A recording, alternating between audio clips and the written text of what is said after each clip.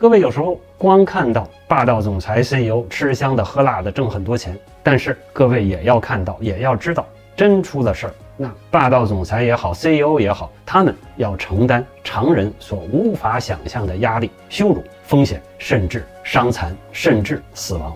类似在上古时代那些巫师和那些王，在平时的时候，他受到大家、受到族人的供养，衣食无忧，风调雨顺的时候，他可以唱唱歌、吹吹风，过过好日子。但一旦出现大灾难、大困难、大不祥的时候，这个巫师、这个王就不得不跳出来惩罚自己、牺牲自己，为了族人的福祉。平常的时候，他的确挣的比大家多一点，的确名声比大家得的多一点，权钱色。名利拿的比别人多，但是在危险的时候，在倒霉的时候，他比别人、比普通人要承受的多得多。所以各位要均衡的看待霸道总裁，均衡的看待 CEO。